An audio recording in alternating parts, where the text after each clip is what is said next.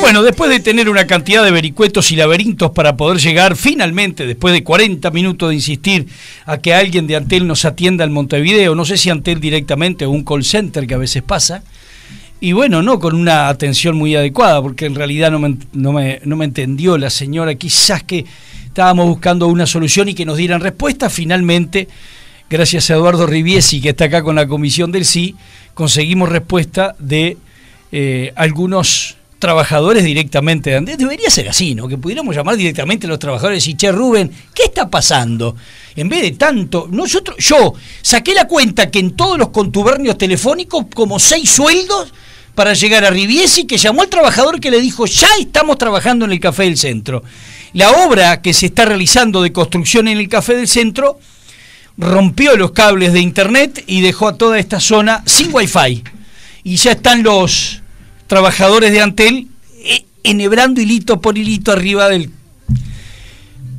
Eh, le, le llaman modernización y errores colaterales. Es como la ruta, que mientras la van arreglando, se Ef- va... bueno. Efectos colaterales. Es un gusto tenerlos acá. Está por la gente, la gente por la comisión del, del sí, sí a la reforma, por la papeleta del sí. Eh, ya escucharon a la flaca Curchet. Eh, En la comisión sos la flaca para la gente de Florida, ¿verdad? Para todos soy la flaca.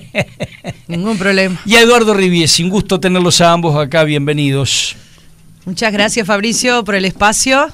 Este, y bueno, vamos arriba. Son cosas que pasan. Ah, sí, todo bien. ¿De verdad? ¿To- ¿Todo bien? ¿Vamos arriba? Sí, son cosas que pasan. ¿Qué le va a hacer? A veces pasan. Son accidentes de trabajo. Exacto. Y sí, lástima que, que estén modificando la, la confitería, que Un para mí te- Ah, tenían que haber intervenido No tiene, no el tiene, gobierno herra- departamental. no, no tiene herramientas para hacerlo. Y dije, bueno, va a tener si expropiamos cosas que... Bueno, ellos me dijeron que no tenían. Yo fui detrás de esto y me dijeron que no tenían herramientas legales para detener un cambio de, de privados que quieren. No, no, tener que invertir, tener que decir esto lo declaro patrimonio. Tengo Ah, que... o, o decía hacerlo urgente porque sí. eh, Urgente, no, o expropiarlo, decir, bueno... Cambió el mundo, con- Eduardo. Eduardo, eso, eso es muy difícil lo que estás diciendo. Pero justamente cambió Vos te el- vas a, a gobernar y cambió el mundo por eso, te digo. Porque hoy este, todos los, los lugares, las confiterías, los cafés, todo lo que hay en, en toda parte del mundo con más de 100 años, de 100 años, ¿sabes cómo lo cuidan? Turismo puro.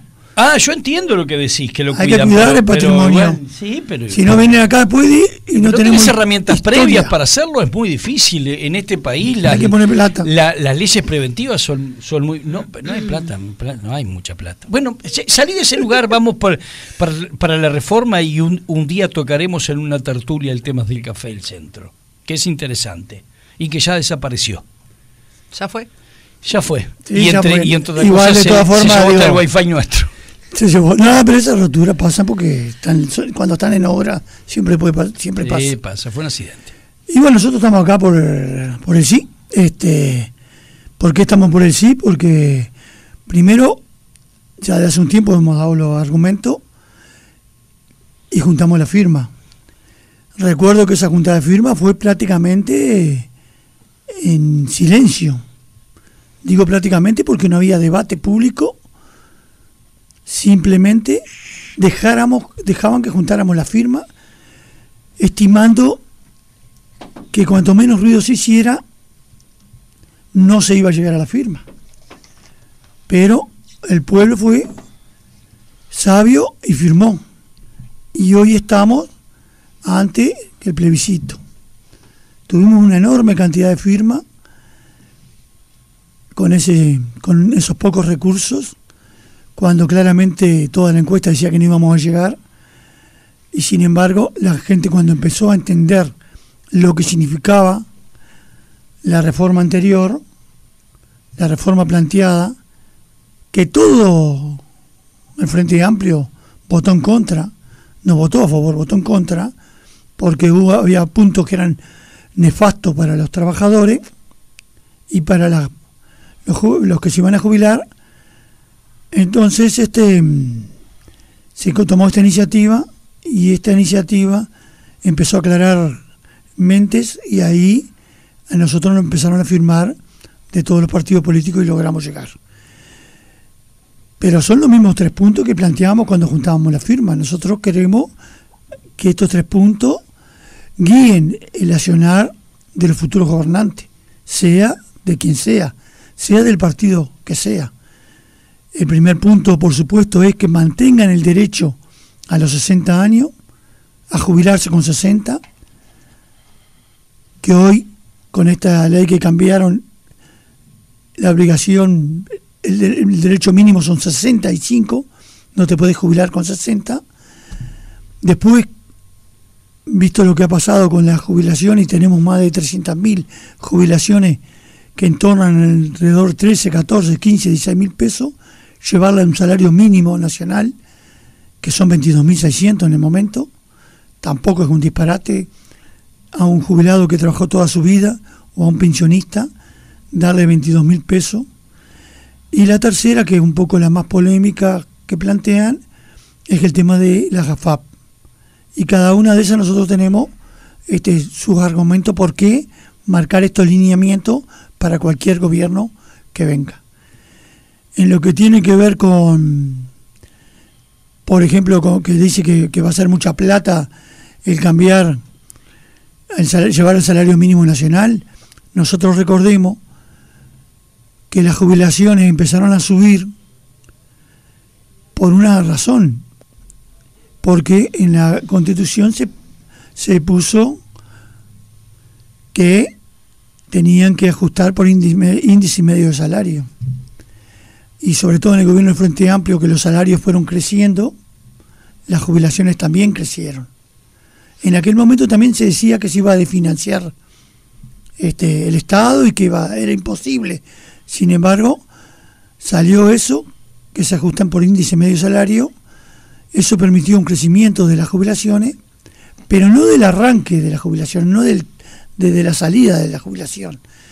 Entonces, lo que eran jubilaciones bajas y los que fueron siendo bajas después en la fórmula de cálculo para los que se jubilaban, sea por los aportes, o sea porque no llegaban por los años, o sea por lo que sea, eso quedaron, empezaron de muy bajo, y tanto los gobiernos del Frente Amplio como incluso el propio gobierno actual, algunos con un poquito más de puntos o un poquito menos, trató de, de corregir eso y le daba algún puntito. O sea que si las jubilaciones por índice medio salario le tocaban 8%, a la más baja le daban 9, le daban 10, le daban 10 y medio. Pero eso ha pasado, que han pasado 15, 20 años y seguimos teniendo jubilaciones muy bajas porque no ha sido sustancial. Y se han incorporado los nuevos. Entonces nosotros lo que queremos es que tengan un salario mínimo de empezada. Y no es ningún disparate y no es que vamos a financiar el país con eso. Y me parece que eso se lo merecen los trabajadores. Toda esta reforma siempre apuesta a el tema de los trabajadores. Amiga, yo no tengo preguntas, ¿eh? Ah, pensé que tenías alguna pregunta para nosotros. ¿Ya la has hecho todas? ¿La has hecho todas? ¿Me la he respondido todas? ¿Se la hago a la, gente y juntos no hemos respondido todas las preguntas? Seguimos hablando con Mariano. Eh, seguimos conversando nosotros. No, no, por el tema de, de, de, la FAP, por ejemplo. Estos tres puntos que estamos tratando, uno de ellos es el de la FAP. Este todo el mundo se pregunta qué va a pasar con las AFAP, que, esto, que lo otro. Bueno, primero que nada, acá este, no va a haber ningún gobernante. Para entrar un poco en la conversación que estaba haciendo Eduardo al principio, que fue este, quienes juntaron firmas, los que juntaron firmas fueron muy poca gente, no se les daba este, espacio en ningún lado, o se les daba, pero muy poco, nadie le dio mucha importancia. Sin embargo, eh, por suerte y gracias a Dios llegaron a la firma. Luego de eso vinieron las internas.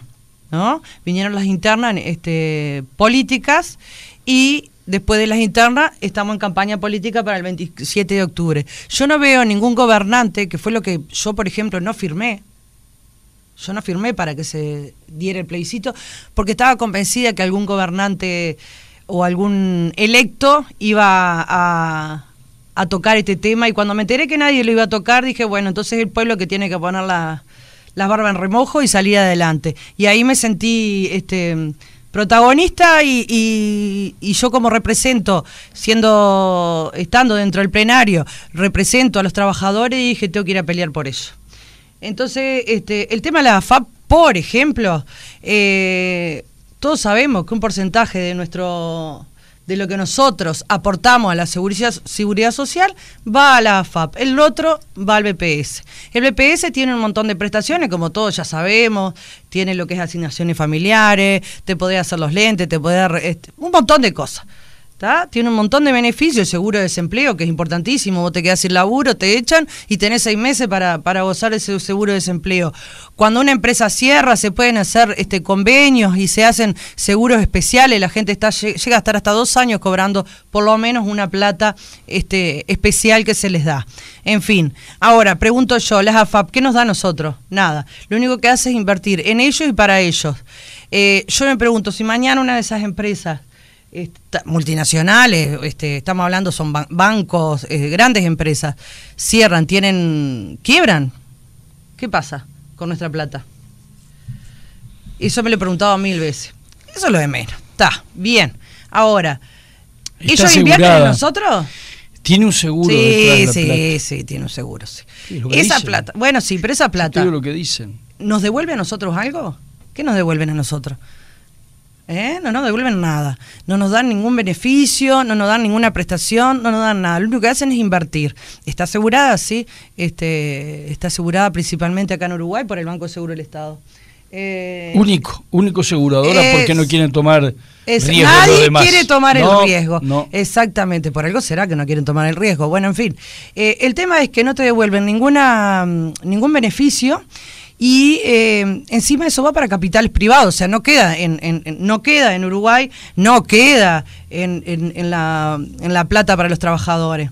Nosotros lo que queremos es que eso desaparezca y que el 100% de nuestros aportes vaya el 100% a el BPS. Ya con eso se arreglaría un montón.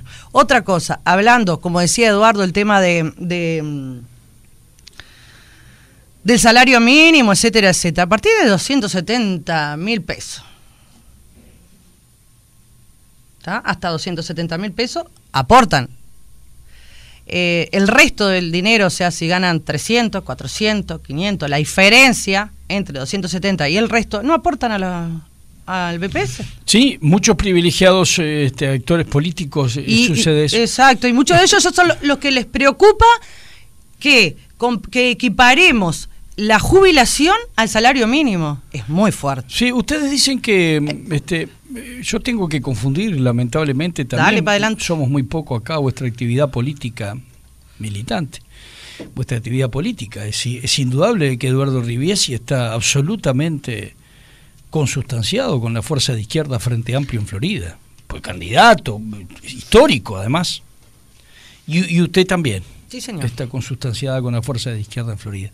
Pero ninguno de los dos es ni comunista ni socialista y están aquí, lo que significa que son parte de una cantidad de izquierdistas frente amplistas que no pertenecen a los partidos que apoyan el sí o que ensobran el sí y que le dicen a sus militantes, y sin embargo lo acompañan al sí. ¿Cómo hacen para estar hablando un poco en contra de la SAFAP y de alguna forma estar hablando también en contra de esos compañeros que tienen ustedes, como los 140 economistas que firmaron no votar el sí? Es como, es como dicotómico, es como contradictorio, ¿no? Vos te levantás de mañana y decís, no, esto no me, esto no me sirve.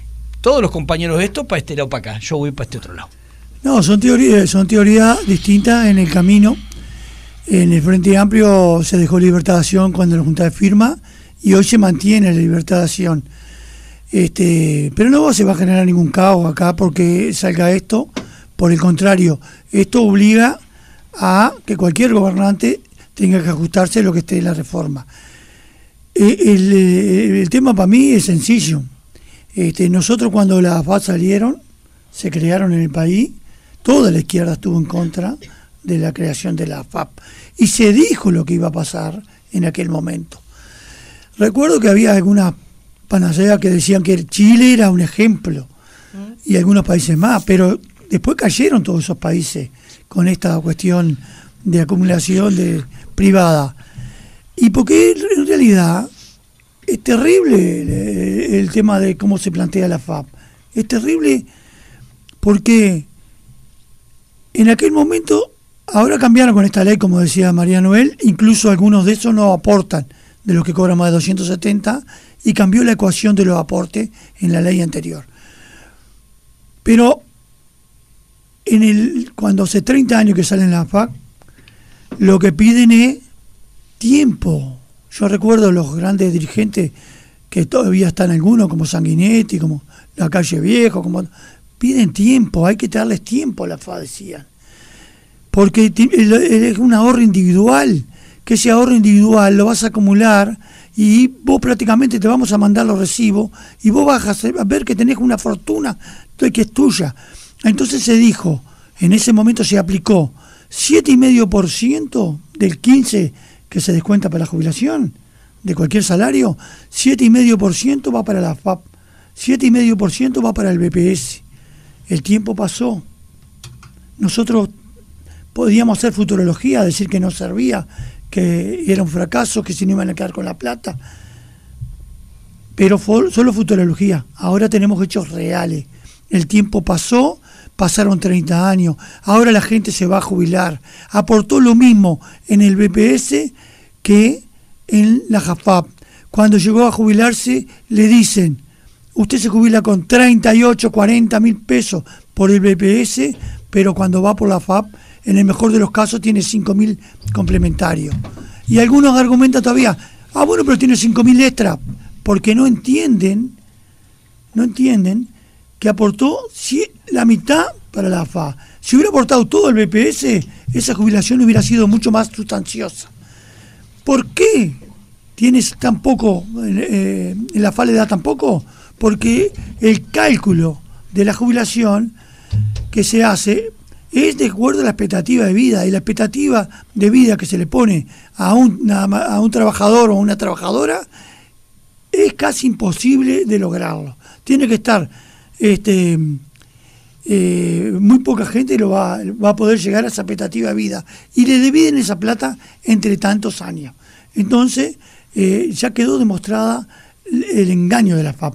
Ahora, el problema que tienen los economistas, estos que largan del frente y todo eso, es que con esa plata del ahorro ese se hicieron inversiones que favorecieron también a la empresa, pero que también, vamos a ser eh, objetivo, invierten en el país, invierten en las carreteras que las vamos a tener que pagar, invierten, hay plata de, la, del trabajador que está invirtiendo en algunas cosas.